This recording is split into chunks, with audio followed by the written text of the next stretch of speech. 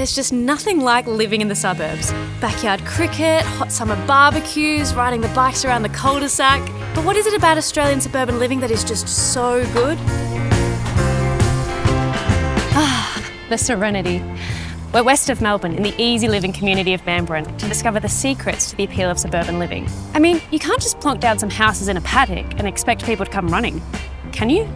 Oh my god, hi Penny! Hi Maddie. You are the exact person I want to talk to about something. Let's do it. When did Australians fall in love with the suburbs? The suburbs really date back to the early 19th century when Australia was in a period of rapid growth. So we moved out of the cities and into suburbs like St Kilda and Fitzroy in Melbourne and Potts Point and Paddington in Sydney.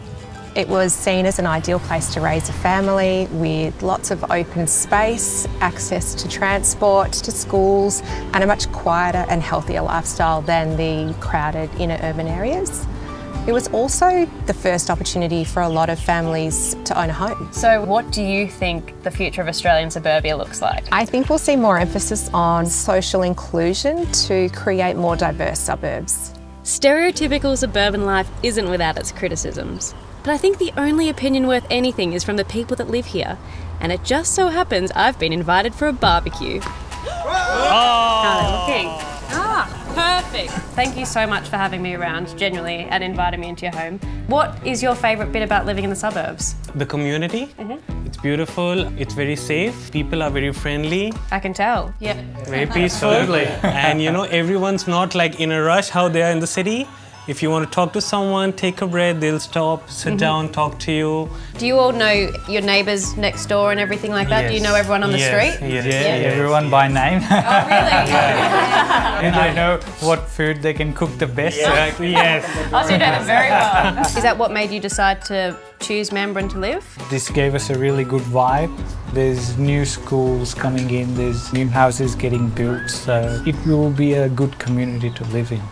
At least for these homeowners, suburban living is the perfect balance between lifestyle and convenience. But what are the reasons why our cities have expanded so outwards? See you guys. to tackle these big questions, we need a big thinker. Hey, Anne. Hey, Maddie. Swinging, huh? Like the interest rates. Shall we go talk about suburban living instead? Yeah, that sounds good. So, Anne, what drives Australians to the suburbs? Often it's lifestyle, that desire for more space. Affordability is also a big factor.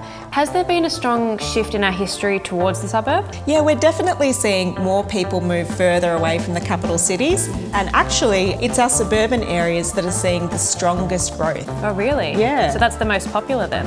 Yeah, absolutely. So we know for a lot of people that maybe want an extra bedroom, maybe they're thinking of starting a family, they need that extra space. And often the only places where they can afford to buy it are further away from the cities in our suburban areas. We can actually get rumpus rooms and studies and a laundry that's not a part of the kitchen. Exactly, exactly.